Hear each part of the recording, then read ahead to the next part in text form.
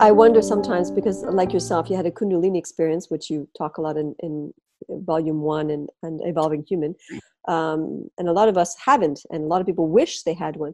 Sometimes I wonder if we're if consciousness awakens because it's time and that uh, right now at, at, our, at our state we can't know that so maybe we wish we, we actually want to live this experience of oppression like sometimes i wonder is it maybe if consciousness needed to wake up it would wake up sometimes i might not make any sense but i wonder about that. You know my sleep yeah. i'm sleeping right now is it because i'm not supposed to wake up? Like in the sense i'm not supposed to have an experience and the reality is that you want to change incrementally but people then block their own change because they're afraid and and rightly so of what that change might mean.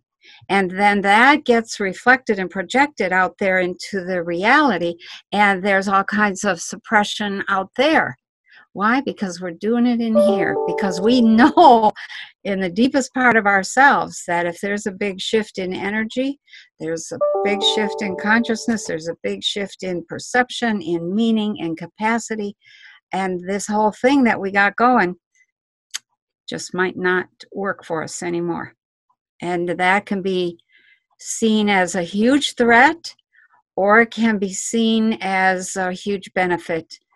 Um, and so I, I think that we're going to come into a time where we're going to be able to plug people in and create a Kundalini experience in them. And but then I think we'll have support that will nurture them as they go through that shift, that change, that process um, that is just absolutely necessary. The support you have to know that what's happening is is in an intelligent process, and it'll be okay, even though it scares the daylights out of you at many points in that process. So, in other words, right now, the way we're set up, it would be very difficult for you, Penny, or and other people who have experienced this to be able to handle a worldwide awakening of kundalini. I mean we were not ready for that. Like we're, we're not yeah. ready. Most people are you could say that. We i was talking yesterday about my husband about this. We were both saying you know could we actually handle you know having very good.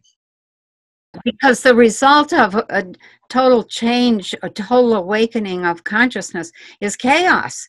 Chaos inside of you. It's chaos in your energy system um, it's chaos in your perception. It's chaos in everything. Um, that you need some time a couple of years to get through the initial chaos the initial changes.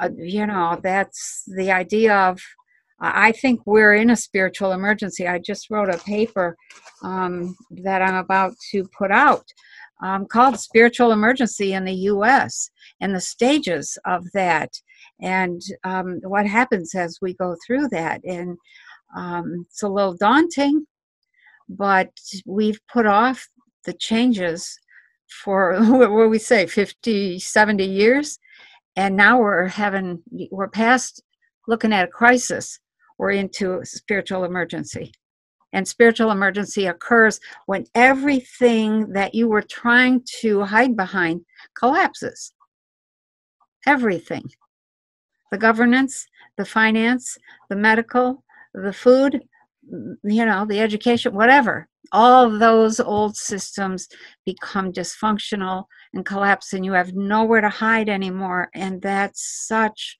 a hard moment. Um, it, that's a that's an emergency that then threatens the civilization, and that's right where we're at.